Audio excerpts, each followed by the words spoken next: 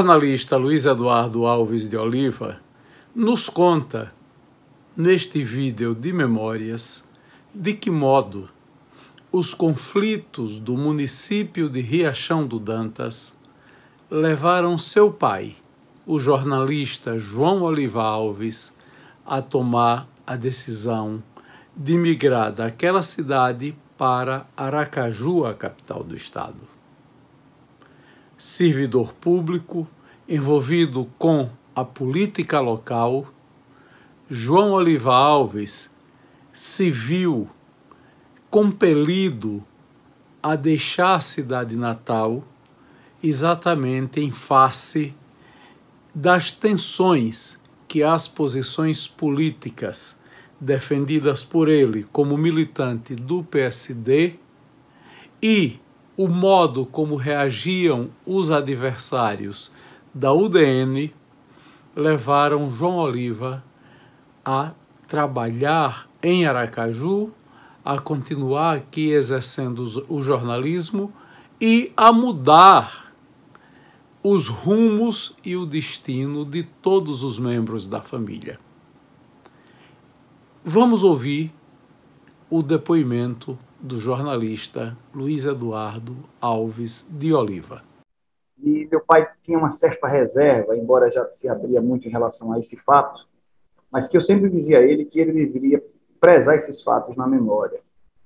É, porque é, é um, um fato que pontua a vida é, política sergipana e que foi determinante na vinda de João Oliva para Caju, de tal maneira que a família deve a esse fato é, é, a vinda dele e, de certa forma, a contribuição que ele deu para o Estado, do ponto de vista de intelectual e de jornalista, deve-se esse fato. E o fato é um tiroteio. Repare que, que coisa inusitada. Papai, ele foi um menino, um, filho de, do ex-ator, o pai de meu pai, casado com Mariana Oliva, a mãe de minha, de, a mãe do meu pai, que morreu quando meu pai tinha seis anos. Mariana Oliva vem a ser sobrinha de Ana José Oliva, que é a, a tataravó de Aloysio Mercadante. Ou seja, é aí que vem essa relação né, do Zé, Zé Patrício, que era o bisavô de Aloysio Mercadante, que saiu do Riachão, que era meu parente pelos Oliva e irmão natural, por assim dizer, da minha avó Defa. É, o Gabriel, Manuel Gabriel, ele teve um caso com Ana José Oliva. Quando ele enviou de, de minha bisavó Liduína, ele, ele foi em busca de um grande amor da vida dele, que queria ser Ana José. E minha avó dizia, quando, porque ele escondia isso, quando meu pai, o meu, meu avô, caso, meu pai casou com, com mãe Ana Josefa, chamava mãe Ana Josefa, trouxe Zé Patrício. Minha avó tinha Zé Patrício, o bisavô de Aloysio, que Aloysio tem um respeito muito grande por ele. Minha avó tinha Zé Patrício como um irmão queridíssimo ela sempre dizia num vaso lá, não mexa nesse vaso que foi Zé Patrício que me deu. Eram muito relacionados com Zé Patrício. Então, meu pai é também sobrinho da minha avó, porque ele é primo carnal de minha mãe. E meu pai, então, meu avô teve muitos filhos, dois casamentos. Dos dois casamentos, ele, ele teve 16 filhos. E um filho natural também antes, que o Antônio, o pai que resgata. É, esses dois casamentos dele de um lado, você conheceu o tio Stefânio, que é do segundo casamento. Stefânio Faria Alves, por isso que Stefânio não tem Oliva. E do outro, João Oliva e, e, e todos os Oliva. Eu, inclusive, tenho Oliva por uma, uma casa. Minha mãe era Maria Alves dos Santos e meu pai era João Oliva Alves. Como era tradicional colocar o Alves, mamãe ia ser Maria Alves de Alves. Então ela ficou, trouxe o Oliva para não ficar Maria Alves de Alves, só ficou Maria Alves Oliva. E todos nós tivemos Oliva. E meu pai, então, nasceu nessa família enorme.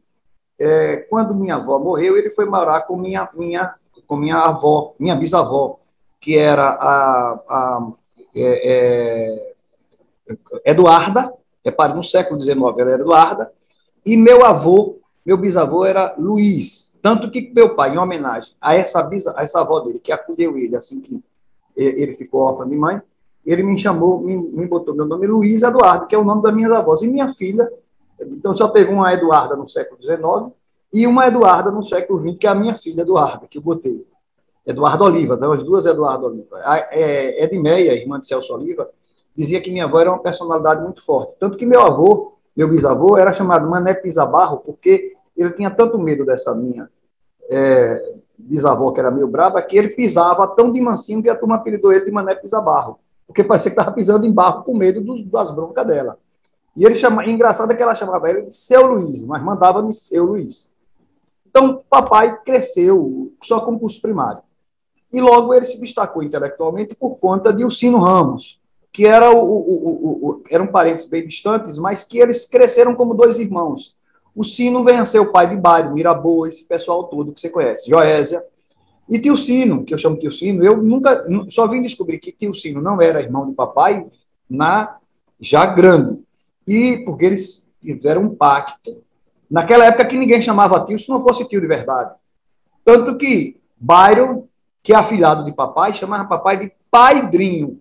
Ele visitou papai até os últimos momentos morrer. Era louco do papai. Ele, Mirabô, todos.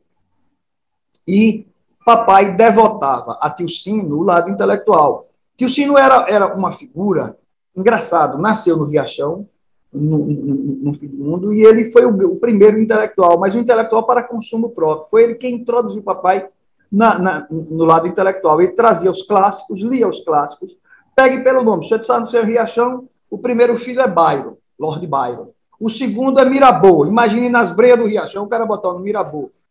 Aí já o terceiro, Ney, que era um, ele era louco pela Revolução Francesa. Mirabeau, que era o grande tribuno da Revolução Francesa. Ney, que foi o, o general Ney, né? Byron, Lord Byron. E Magna é a última. E Joésia é a única que ele faz em homenagem à dona jo Joésia, que era a avó, mãe dele, qualquer coisa assim. Então, ele, ele, ele é quem bota na cabeça do papai, para papai ser é, leitor. E é através de tio Sino que papai vira o autodidata que foi. Só que papai deu voos maiores do que tio Sino, mas sempre reconheceu em tio Sino o primeiro guia, o primeiro, tanto que ele escreve no livro dele, o Sino, o Bom Samaritano. Então, ele, ele foi logo trabalhar com Horácio Góes na prefeitura de Riachão. E lá, ele, muito novo, com 17, 18 anos, ele era o secretário da prefeitura. Começava -se a trabalhar muito cedo.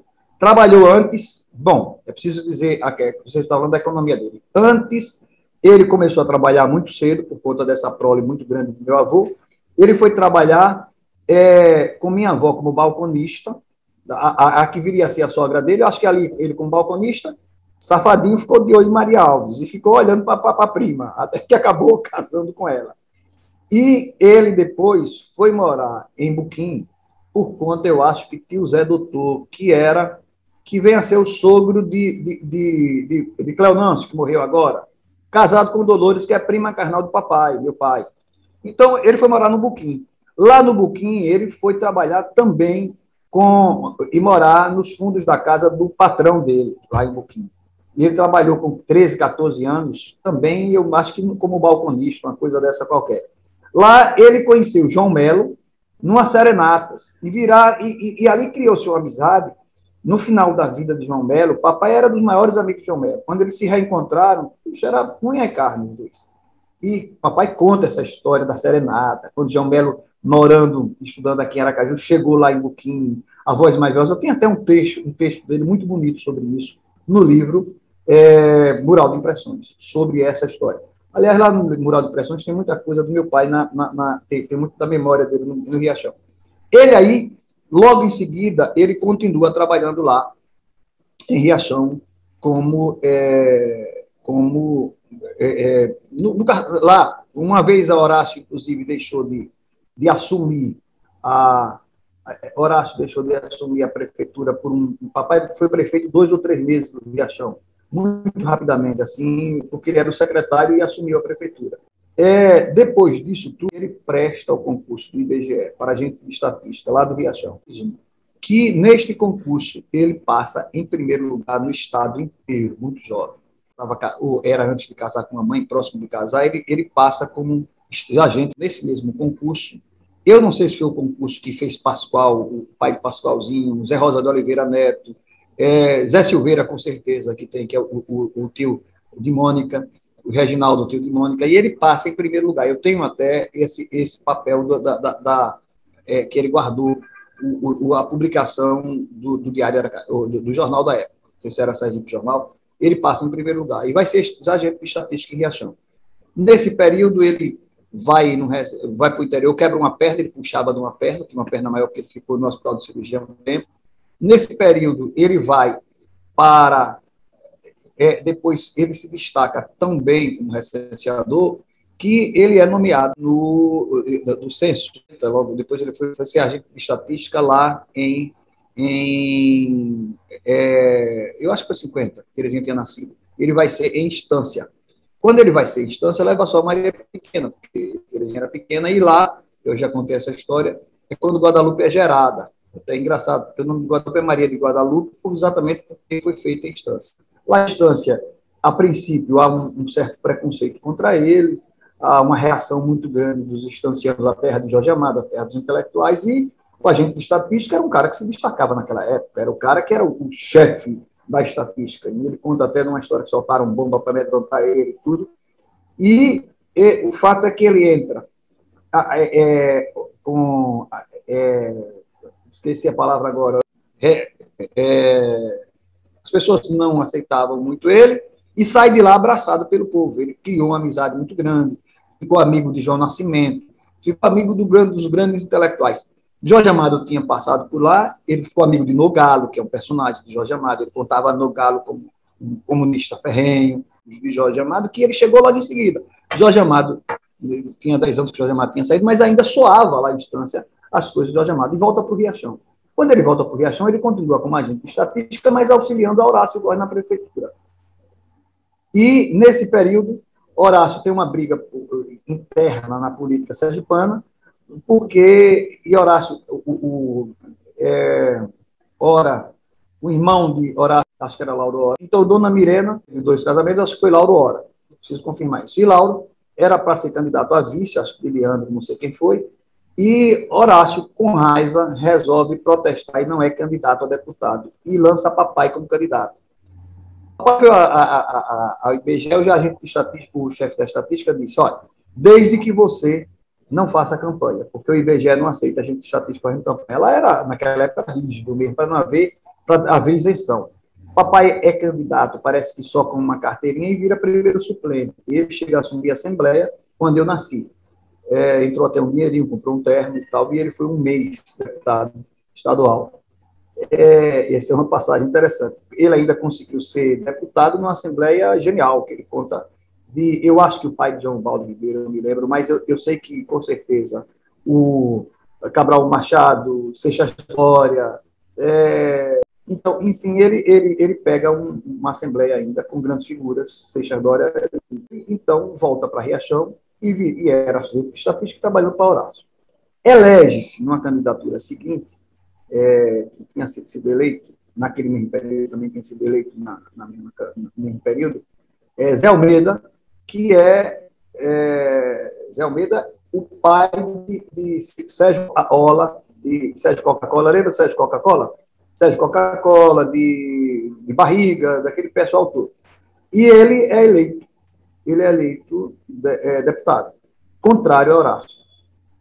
O serviço de altifalantes, quando ele vem subindo, o cara, para provocar ele, coloca no serviço de alto-falante a música de Luiz Gonzaga, O Calango e a Lacraia.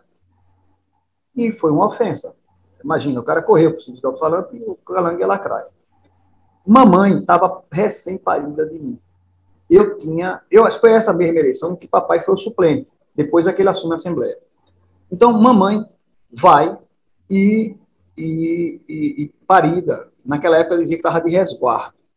Papai sobe História interessante por isso. Papai, então, quando é, eles vão subindo, com o cortejo, Zé Almeida, e que vai o Calangue Lacraia, um quebra-faca de Zé Almeida, corre, pega um revólver e dá uns tiros no alto-falante. Parece que é bem pastelão mesmo, tipo Cine Hollywood. Ele corre e, no lugar de atirar alguém, atira no serviço do alto-falante, no, no, no, no, dá uns tiros. Quando dá uns tiros, é, a, a, a tensão começa a existir o pessoal se joga na casa de seu Costinha, que fica do lado de cá. Seu Costinha era o sogro de Horácio, pai de Dona Creuza. E Horácio era o chefe político, acho que o prefeito. E aí começa aquela situação de tensão. Seu Horácio, papai morava na, na casa que foi do padre Fonseca, que hoje é demolida, que era um casarão sobrado onde eu nasci. E nessa casa é, ficava atrás da igreja, na própria praça, praticamente.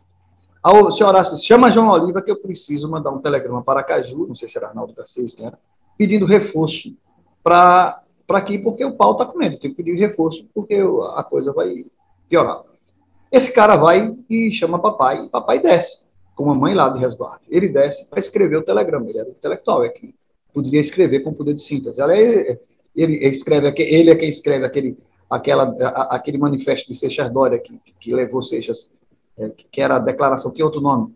É ele quem, até Luiz Eduardo Costa conta essa passagem quando ele escreveu que de tal maneira que Seixas foi deposto por conta desse manifesto que o papai escreveu. No que ele desce, que está escrevendo, chega um gritando: fecha a janela, fecha a janela, que o tiro está comendo. Abriu-se o tiroteio. Abriu-se o tiroteio. Ele, então, logo, logo, já tinha redigido o telegrama, o correio ficava ao lado. Ele ficou preocupado com mamãe, é, mamãe de resguardo. E ele agoniado lá dentro. Veio um cessar-fogo, os tiros reduziram. Ele, num ato de loucura, mais do que de bravura, mais do que de coragem, foi um ato de loucura, ele pula uma janela, repare, o cara pula uma janela e resolve a, atravessar a praça onde estavam os atiradores, todos postados, e atravessa a praça para ir em socorro de mamãe, para dar guarida a ela.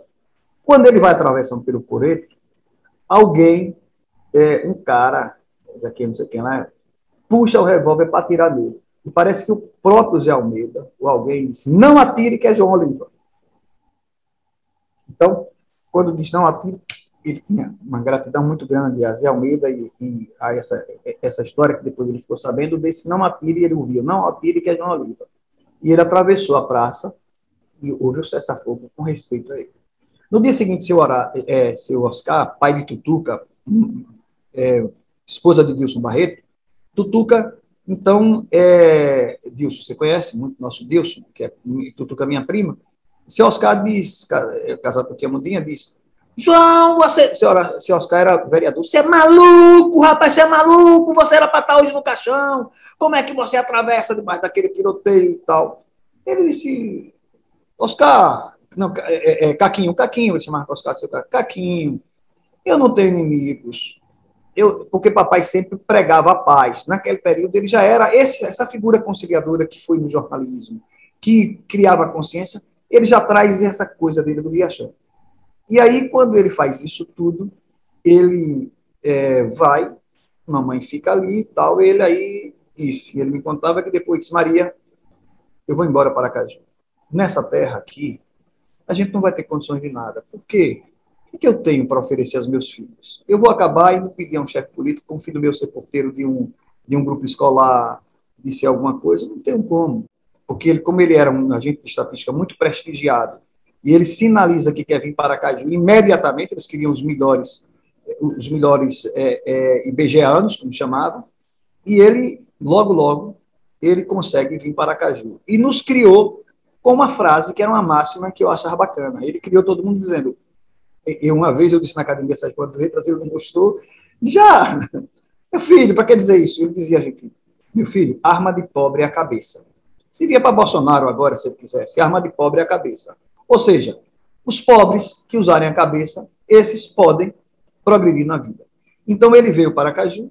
Aqui, logo, logo, ele já mandava notícias para os jornais. Orlando Dantas, assim que sabe dele, através de Pascoal e Zé Rosa, que eram os ibegianos, Zé Rosa era primo de papai, falam para Orlando Dantas que estava querendo fundar um jornal e Orlando manda chamar papai.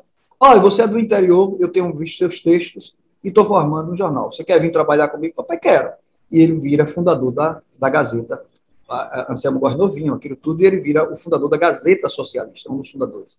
Ele, Idelgardes, Zé Rosa, Pascoal, é, tem, tem até uma foto bem interessante com eles todos, os fundadores, que quando, fizer, quando se fez o aniversário. Então, ele cria a gente através do, é, é, é do IBGE e das noitadas nos jornais. Esses são os dois. Virou corretor de imóvel um tempo também para conseguir colocar. Era ele uma luta muito grande com os filhos todos, o primeiro carro já vem depois, era um Jeep velho, eu me lembro que eu peguei uma flanela para limpar o Jeep quando ele comprou o primeiro carro. Então, ele foi um, um lutador. Já, já depois, ele quando viu que a, o dinheiro não dava, o IBGE, dinheiro curto, etc., ele meteu, ele foi um médico e no, ele conta que tinha um jornal, quando ele pegou o jornal, tinha um, um concurso para uma vaga para cartório eleitoral. Ele aí disse, olhou e disse, bom, viu o salário quanto era. Ele disse, aqui está minha salvação, é aqui que eu vou criar meus filhos. E partiu para o concurso sem medo de que seria o primeiro lugar. Era uma vaga só no estado inteiro. E ele, como sempre, não deu outra. Bateu o primeiro lugar, isso deu a ele, em seguida, depois ele vai é, ser chamado por João Cardoso para ser o primeiro Relações Públicas. Antes disso, ele foi convocado, chamado por Seixas Dória, já há pouco tempo, seis anos, seis meses, seis anos só de Aracaju, para ser o secretário de imprensa de Seixas. Ele vai para vai entrevistar Dom Távora quando Dom Távora chega aqui e Dom Távora se admirou. Dom Távora era um, dos maiores prelados do Brasil, intelectual. Basta dizer que os dois grandes prelados do Brasil, época Dom Távora, era ele e Dom Helder Câmara, que se comunicavam, os dois chamando de eu e eu. Eu conheci Dom Távora muito, beijei muito o anel dele, que era, que era típico daquela época. Dom Távora gostava de papai muito. É, tem uma passagem maravilhosa, estou acabando divagando, mas muito bacana de papai com Dom Távora, várias passagens. Uma delas é quando Dom Távora Dom Távora chama, quando ele é entrevistado por papai, ele se admirou, porque ele é acostumado, ele, ele era bispo auxiliar do Rio de Janeiro. Os grandes jornalistas aqui entrevistavam ele. Ele chega aqui, vê aquele sujeito magrinho, só que papai era um carola militante, ele, ele entendia, conhecia muito a, a, doutrina da igreja, e aí ele faz perguntas com o dia a dia do carola. Você conheceu ele, a religiosidade dele, ele era um homem extremamente antenado e com relação com o Vaticano II e tudo, faz perguntas que admira Dom Távora. Dom Távora não pensa duas vezes. Dom Távora chega e chama ele para formar a, a é, é, é para ser o redator-chefe da, da, da, Cruzada. Aliás, quero abrir um parênteses a ser para dizer o seguinte: é, Tenso Aragão, é, é, Tenso Aragão, que eu conheci, depois que era do Riachão, era protestante, uma vez conversando comigo, já velhinho, me contou, e eu não sabia, é, quando falou de, falando alguma coisa, falou que foi auxiliar de Dom Távora. Dom Távora se cercou de protestantes, espíritas. Rapaz, se a gente for pensar, Isaías fez um livro, Dom Távora tem, tem uma cabeça do cacete. Assim. Foi um homem criou a radiocultura, o, o MEB, o movimento, é, é, é, o movimento eclesiástico de base, né? o MEB, o movimento educacional de educação de base, que, que, é pioneiro no país, e quando ele chega aqui, se cerca disso tudo, o Tennyson me contou que Dom Távora ia, às vezes, para a fazenda dele, aqui nos arredores de Aracaju. E uma vez, ele, Dom Távora ficava lá batendo papo com ele, numa rede, aí ele disse, Dom Távora, eu tenho tanta vergonha do senhor. Aí ele disse, por que, Tennyson? É que eu sou protestante, não sou casado na igreja católica, sou uma visita. Aí Dom Távora riu, aí disse, você se incomoda de ser abençoado por mim na igreja católica? Aí Tennyson disse: Não, não me incomodo. Aliás, isso me daria uma honra. Aí disse: Então eu vou casar você. Chame sua mulher. Aí chamou a mulher, levantou da rede e casou os dois naquele momento. Num, num gesto extremamente bonito dele. Você veja que pastor, me emociona até. Que era no Tabra. E, e, e, ele com o papai, quando, quando ele teve o, o, o palácio cercado que rompeu 64, mamãe agoniada com o papai, que não localizava em canto nenhum, ligou para todo mundo. Papai estava no palácio com Seixas Dória, depois é que Seixas vai preso, reuniu o secretariado. Foi quando o papai redige é, é, o, o, o, a coisa, o golpe rolou, papai é, a proclamação, chama proclamação. Viana de Assis me conta que guardava esse papel, esses originais com a letra dele. E mamãe agoniada, cadê os carros do exército rodando? Já chegava as conversas, João vai preso, João vai preso. Quando é, mamãe liga para todo mundo. Tinha um velho telefone que eu já falei, o 3416. Mamãe então liga para Dom Távora. E ela ficou com a queixa, Dom Távora. Quando ligou, disse: Dom Távora, que é Maria de João Oliva. Ele nem pronunciou o nome, ele disse: Ele está bem. E bateu o telefone. É que ele estava cercado pelo exército. Ele não quis pronunciar o nome de papai, ele quis proteger papai. Quem vai socorrer mamãe? Dom Luciano, Cabral Machado, que chega com a Kombi localiza papai e vão dizer à mamãe. Mamãe tem uma gratidão muito grande por Dom Luciano por isso. Então, é, é, é, ele, papai, então, ele vem para Caju, né, nessa história, e, e ele a, a, atividade econômica dele passa a ser multifacetada desses momentos. Secretário de Estado, é, Gazeta, é, Diário de Aracaju, depois eu, inclusive, uma vez eu fui entregar o editorial para o papai, me parou o carro de um lado, eu atravessei, lembro, não sei se você lembra da época de Aracaju, que tinha lotações de Kombi, uma Kombi me atropelou e eu fui, quase morro, fui socorrido no Sandu, que ficava em frente à Polícia Militar. Então, papai, ele, ele vem, e, e, e ele tem isso, depois do João Cardoso, quando cria a universidade, convida ele para ser Relações Públicas, ele é cedido pelo, pelo Tribunal Eleitoral, depois ele volta é, já no, no, assim, depois de um ano, o tribunal disse que não deixava mais ele renovar e ele indica Alencazinho para o lugar dele e volta e se aposenta como. É, como e, e, também ele trabalhou um tempo depois de aposentado com Albano, com Idalito, com Idalito como chefe de Idalito, trabalhou também com o padre Claudiano e tinha uma outra aposentadoria pelo INSS que ele pagou. Então, ele tinha duas aposentadorias, o que amelhou uma, uma vida confortável, afinal, muito confortável, é, com um excelente apartamento, um patrimônio que ele. Papai era mão fechada, ele era muito seguro. Né? Eu não tenho 10% dessa coisa dele. E, e, inclusive, nos deixou confortavelmente até na morte para um homem que era só assalariado, sério, correto. Então, a vida. Ele criou esses 10 filhos dessa forma, virando, varando madrugadas na, na máquina de datilografia. Outro de amigos meus dizem que passavam ali pela rua na madrugada e achavam bonito ouvir o toque-toque da máquina de datilografia acho que os dois maiores datilógrafos do Estado chamavam-se João Oliva e Maria Helena Silveira, segundo Vladimir, o juiz, que não tinha ninguém que datilografava igual a minha sogra. E, então, é, era dessa forma que João Oliva criou os filhos.